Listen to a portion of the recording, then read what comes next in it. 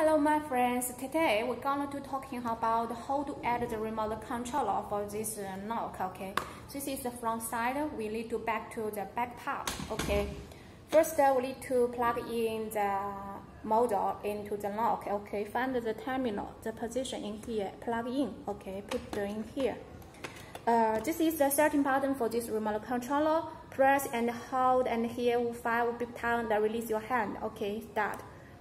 One, two, three, four, five. Release your hand and now press this key, okay? And uh, around five seconds, you will hear a long big tone. It means that successfully to add this uh, remote controller, okay? We see if can. Okay, successful. Okay, uh, the same way to delete the remote controller press and uh, hold and here five big time then press this key okay? We see. One two three four five. And uh, press okay? You hear the different voice prompt.